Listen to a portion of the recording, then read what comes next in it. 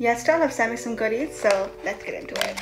Since moving to Dubai, my whole skincare routine has basically had to completely change. The air here is completely different to what it was in Ireland, so of course my skin has definitely had to also adjust to the new changes here. Ew. First up we have that Sisua. Shishwa? Shishwa? These are actually daily skin calming toner pads inspired by Tasmanian pepper. This is compared to my head. Claw machine.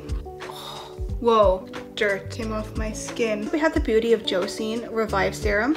Is enriched with 63% ginseng root water and 3% snail mucin content. It's not heavy, it's not just like putting water on your skin. Next up we have the Face Shop Dr. Belmeur. It's a hydro cream with Germany's derma tested completion that soothes and protects damaged skin without having irritation and leaves the skin feeling a bit more refreshed. It help the texture. This is the I'm from Honey Mask from a mountain in Jiri, Korea. It vitalizes and nourishes the skin. Like peanut butter. Wow, peanut butter baby. I want to lick my face.